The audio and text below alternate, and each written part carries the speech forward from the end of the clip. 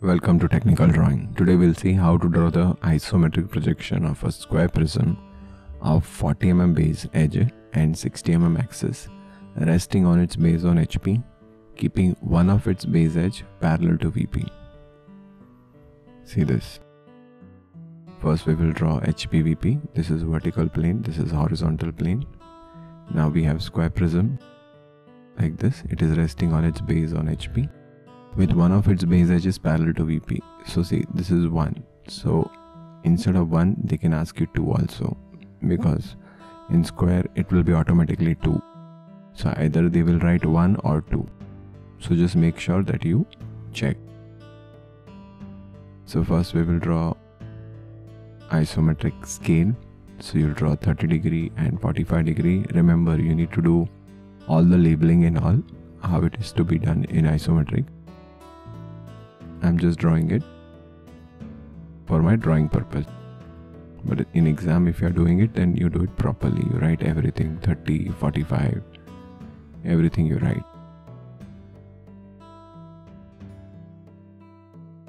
So what I did, it is 60. So I took 0 to 50 and 10. From here 0, 10, 20, 30. 40 50 and this is 10 we need to mark 60 and 40 on this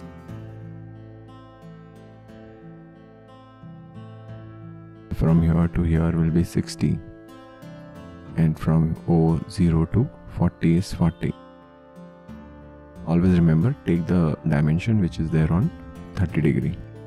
It will be always less. Whenever you're doing isometric projection it will be always less than original dimension. So now you'll take 40 and you will draw a helping figure. In this also it is not required but we will do it because we need to get into a habit of drawing helping figure in exam generally it is for one or two mark. Otherwise they will cut if you don't draw helping figure. So you got center point also. Now this is 1 2 3 4 or a b c d whatever you want to write. And this is axis om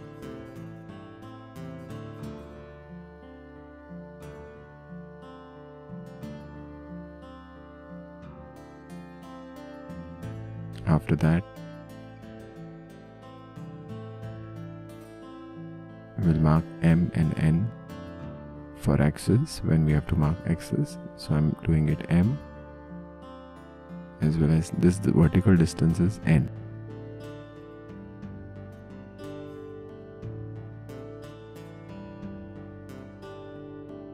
So now we'll start with the real sum. What we need to do we need to draw 30 30 degree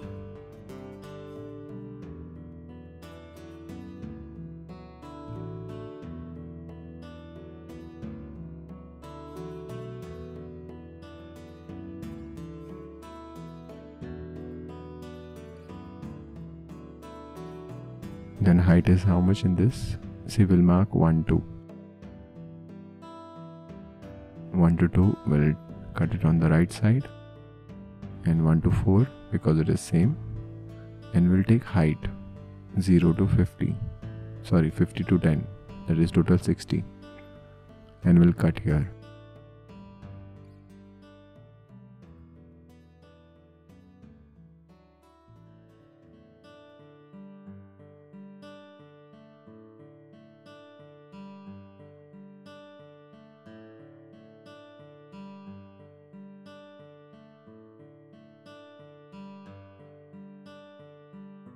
so this way we'll get the square prism. We need to draw it dark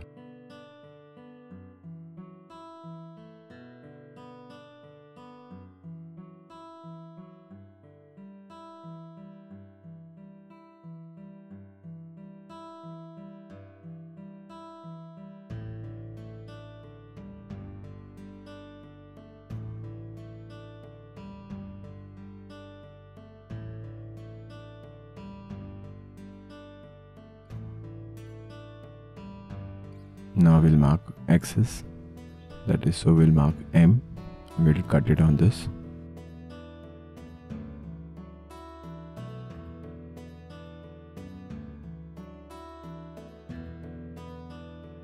And then I'll mark distance N.